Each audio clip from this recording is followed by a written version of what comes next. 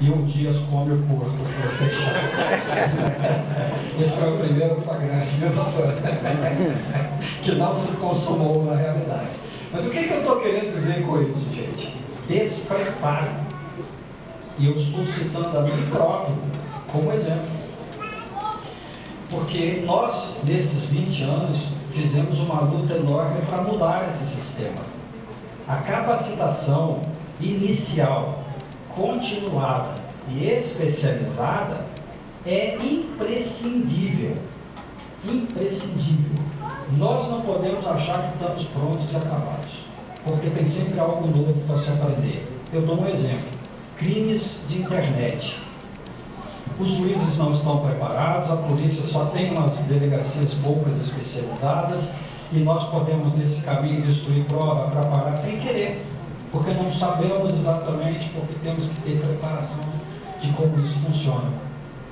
Né? Eu me lembro, e outra, muda tudo. Eu me lembro que no Tribunal Superior Eleitoral houve uma reclamação e nós descobrimos que o provedor estava na Líbia.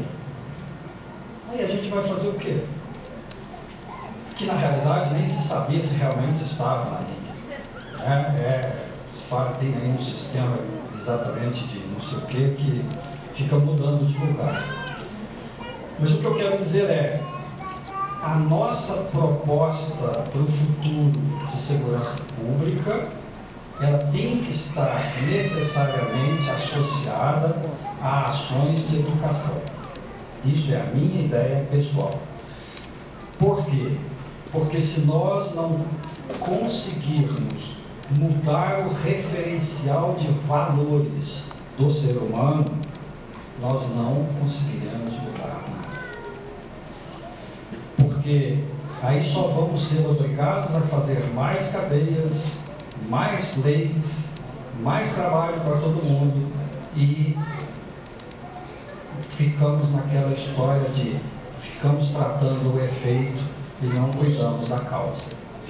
Então eu acredito que a noção de segurança pública sem um, um vínculo direto com a história de formação do cidadão é, não, não funciona. Eu estou assistindo vários projetos muito interessantes. As Forças Armadas, por exemplo, tem um que se chama Força no Esporte, é, que nós conseguimos colocar em Niterói 60 crianças. Essas crianças em três semanas mudaram de vida e mudaram a vida da família, porque receberam ali toda uma nova carga de conhecimento, de acesso de conhecimento que elas não tinham. E aí é, a visão institucional também muda, elas passam a ver a força como, com outros olhos. Então, é, esse tipo de trabalho, acho que junto com todos os outros, eu, eu, eu, estou só pegando um tema, gente, porque se fosse falar aqui de. Se eu fosse fazer um, um elenco de temas, nós ficaríamos uma semana falando. Mesmo porque eu acho que a maioria de vocês começam a enxergar só a prática, só aquilo que enfrentam na rua todos os dias. E só aquilo que enfrentam na rua todos os dias, estejam sempre atentos. Aquilo é efeito não é causa. E o que vocês lidam é efeito.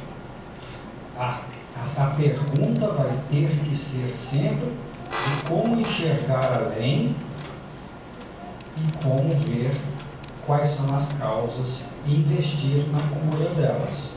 Não se pode é, matar o doente para curá-lo. São duas coisas completamente antagônicas. Tá? Então, eu acredito que é, eu vou, vou, dar um exemplo para vocês, assim, mas ah, isso aí é mundial. Eu tenho, eu não gosto muito de certas comparações, mas vou usar fazer uma. Tá? Duas. É, três com o sistema prisional. Sistema prisional da Noruega. Eles investiram tanto na formação que não tem preço. Aí eles alugam as vagas na prisão para a Holanda e para outros, outros países. E olha, gente, aquelas prisões são resort, perto, até de hostel que a gente conhece no Brasil. Tem cinema, tem sala de internet, o cara faz curso à distância, tá? um spa. E não tem nem preso. A Suécia, que adota o mesmo sistema, né? Bom, eles ficaram em choque quando um cidadão, talvez para eles o crime mais bárbaro da história recente, foi quando um cidadão foi num campo de jovens e matou 17 pessoas.